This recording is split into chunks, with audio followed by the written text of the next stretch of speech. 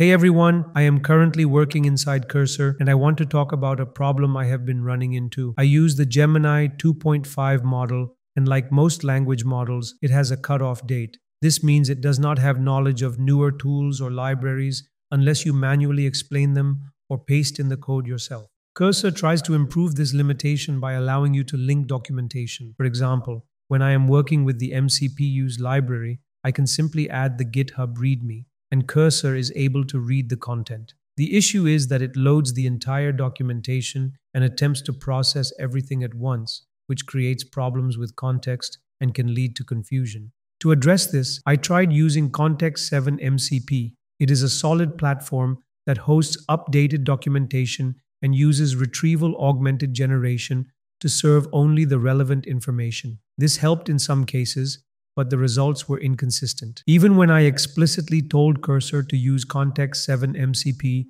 it often ignored that instruction and searched the web instead. At times, it pulled in unrelated content that made things more difficult, especially when working with overlapping tools such as MCP use. These issues became more noticeable when I was dealing with tools or frameworks hosted on GitHub. Because many repositories and resources are interconnected, Cursor ends up retrieving context that does not align with what I am actually working on. That is where Git MCP becomes useful. It transforms any GitHub repository into its own dedicated MCP server with focused documentation. The setup process takes just a few seconds and provides Cursor with exactly the context it needs. In this video, I'm going to show how Git MCP implemented the new A2A protocol correctly without introducing any errors. It offers a straightforward way to improve Cursor's accuracy and makes the experience of working in coding editors much smoother. This is the GitHub repository for the GitHub MCP tool, and it contains a lot of useful information. There is a great example that demonstrates how they built a Three.js project both with and without GitHub MCP. So let's take a look at that. You can clearly see the level of detail that resulted from using GitHub MCP in comparison to not using it. The key difference lies in the context the AI model receives and how specific that context is. When the context is highly specific, the model is able to generate much better graphics as demonstrated here. That is not even the most impressive part. Other tools can feel overwhelming to set up. As I mentioned with Context 7 MCP, there are times when it completely ignores the MCP server and begins searching the web instead. In this case, the setup is so minimal and lightweight that there is no friction involved. You simply configure it and begin coding. It is also completely free. You can self host it with MCP servers if you prefer, although I do not believe it is necessary. It connects with any integrated development environment including Claude Desktop, Windsurf, VS Code, Cline, or Cursor. They have also demonstrated how to use it with a specific repository or even a GitHub Pages site. This means that if the documentation is hosted on a GitHub Pages site,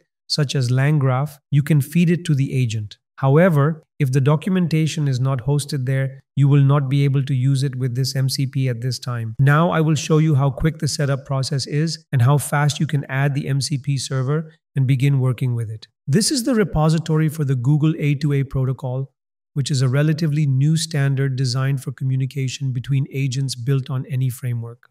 We also have a video that covers this topic in detail, and you can find the link to that in the description below. If you want to provide this GitHub repository to Cursor so that it can begin building with it, especially since this is a new protocol, you will need to supply the right context. The process is very straightforward. You simply replace github.com with gitmcp.io in the URL and press enter. That action will give you an active MCP server based on the repository. There is no need to create any rules manually because it is already configured for all major coding environments. You just need to copy the MCP rule and paste it into Cursor. Once that is done, Cursor will have access to the documentation, and the MCP server will deliver accurate and relevant instructions for using this protocol to build agents. You also have the option to interact with the documentation directly.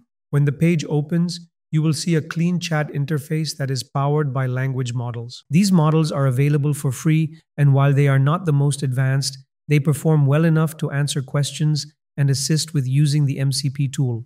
You can ask any question related to the Google A2A documentation, and the system will help you. I have a pretty cool example to show you. I implemented the A2A protocol between three separate agents, and I did not read a single line of the A2A documentation beforehand. After completing the implementation, I went through the documentation to confirm that everything had been done correctly. I began by prompting it to explain the A2A protocol and how it works, and it immediately fetched the documentation. One of the things I really appreciate is that when I mention the term A2A protocol, it automatically retrieves information from the A2A MCP because that is the name under which it is saved. When I used Context 7 MCP, it would occasionally hallucinate based on how the prompt was written, unless I specifically instructed it to use the MCP. That added a layer of friction to the overall process. Once it retrieved the documentation, it provided a complete explanation of how the protocol works and what it is intended to do. After that, I gave it the actual task. I asked it to create three agents, including one main agent that I would interact with directly, one that discusses only animals, and another that discusses only plants. Although this is a fairly simple setup, it demonstrates an important concept. You can connect smaller language models to RAG databases that are focused on specific domains. There is no need to rely on one large model with extensive training data. Instead, you can break the problem down into focused areas of knowledge or tools. I then instructed it that the main agent should communicate with the second and third agents using the A2A protocol, and that was the key requirement. It began building the agents and continued to call the MCP tool throughout the process, which was helpful because it consistently referenced the correct documentation. It generated all of the necessary files and separated the logic for each agent. I also asked it to include a README file and it created that along with a requirements file. I followed the steps outlined in the README, and the agents are now live and successfully connected. If you're enjoying the video, I'd really appreciate it if you could subscribe to the channel. We're aiming to reach 25,000 subscribers by the end of this month, and your support genuinely helps. We share videos like this three times a week, so there is always something new and useful for you to explore. I have started the agents in the terminal, and this is the main agent. You can see that it is running and is connected to both the plant agent and the animal agent. I asked it a question, specifically what a lion would eat, and it correctly identified that the question was related to the animal agent. It sent the request to the appropriate agent and received the correct answer in response. Here is the plant agent, which is running on its own server and has not received any requests yet.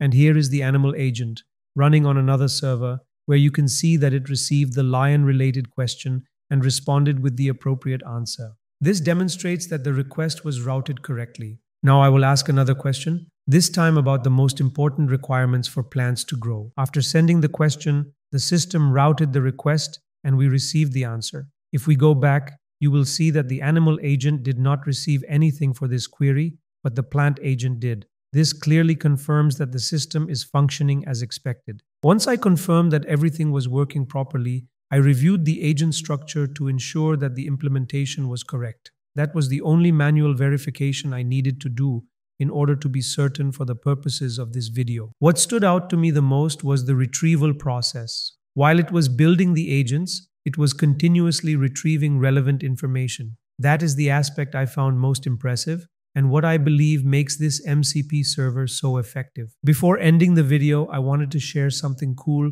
that I also found pretty funny. I actually used the Git MCP chat to learn more about the Git MCP tool itself. I placed its GitHub link into the prompt box and started chatting with it to see how it would respond. The main question I had was whether the tool uses vector databases and implements RAG. It turns out that it does not follow that approach specifically. Instead, it uses large language model text from each GitHub page and the README files, and it navigates the codebase based on that content. It does support textual search, but it does not apply retrieval augmented generation in the traditional way. What impressed me the most was how it created the A2A agent without introducing any errors and implemented it correctly by even generating the agent cards. If you are not sure what I am referring to, you can check out my A2A video for a more detailed explanation. It is definitely an excellent tool, and I would recommend giving it a try. I am not suggesting that you stop using the Context 7 MCP but this was something I came across and found genuinely interesting. After testing it, I really liked the results. You are welcome to try it yourself and see how well it works for your use case. That brings us to the end of this video. If you'd like to support the channel and help us keep making tutorials like this, you can do so by using the super thanks button below. As always, thank you for watching and I'll see you in the next one.